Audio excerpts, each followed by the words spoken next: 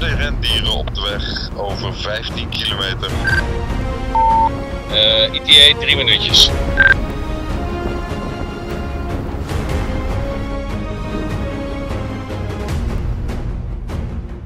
Wow, wat is dit gaaf.